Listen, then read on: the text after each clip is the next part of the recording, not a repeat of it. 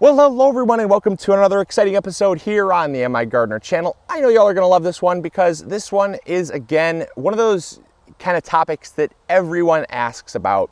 We get asked maybe a thousand times a year, maybe 2,000 times a year, and maybe even 3,000 times a year.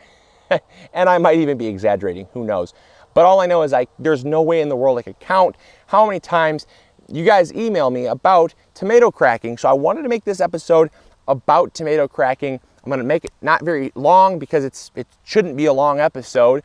And uh, it's gonna be really solid information that's gonna help you out. So I have two methods to preventing tomato cracking.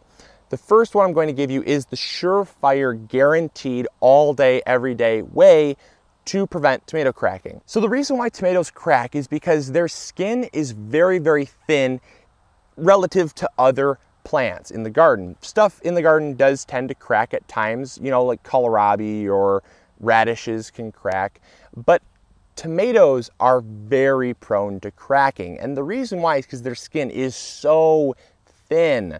And what happens is, imagine your plants have a one-way valve. Water goes in, but it does not go out. The only way water leaves the plant is through the leaves. If it gets into the fruit, the fruit will not shrink. The fruit will never shrink, okay? So what you want to do is imagine your tomatoes have a one-way valve. And if you have a very dry period, the plants are essentially, they're, they're doing fine in that dry period. But as soon as you get a dump of water, that water goes into the plant and that one-way valve gets opened up, water enters the fruit, and the fruit essentially cannot expand fast enough. It's like a water balloon. It's like, hey, whoa, whoa, whoa, we're getting bigger, we're getting bigger. And eventually it reaches a, you know, a, a rupturing point where the, the tomato simply says, you know what, I, the valve's not stopping, and I'm just gonna rip wide open. And that's what happens. The tomato just rips because it cannot stretch. And it generally will happen on tomatoes that are ripe. And that's what frustrates most gardeners is they have these beautiful fruits and they'll say, you know what? I'll just let it go one more day. I, I know, I know you have said that because I have said that hundreds of times.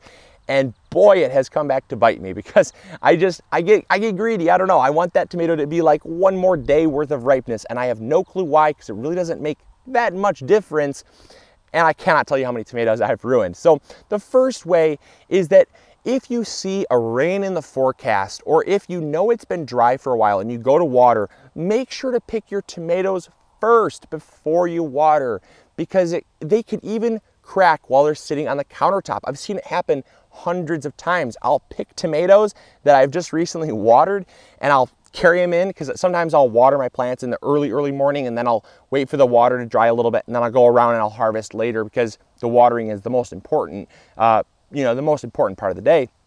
And so uh, I'll go through and I'll pick the, the fruit that I've that I've recently watered. I'll set it on the countertop ready to make a BLT or something.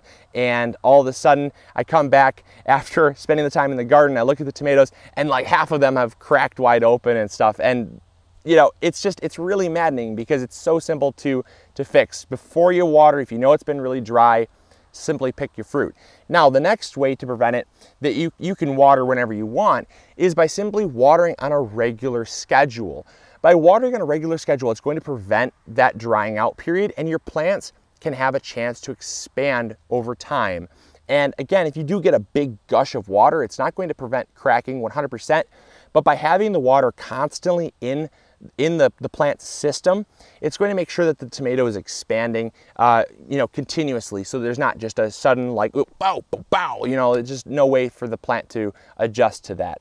Now the second method that I have that is some very, very effective, but not always effective, is by spraying your plants with calcium carbonate water.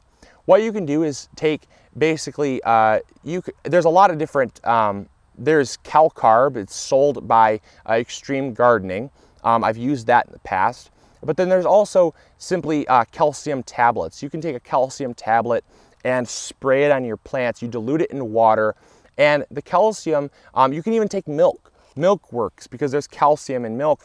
Uh, um, you can even take a, a, light lime solution. You can take uh, dolomitic lime and put a little bit in water. Again, use it with caution because it can harm your plants. If you use it in the heat of the day, it can burn your leaves, believe it or not.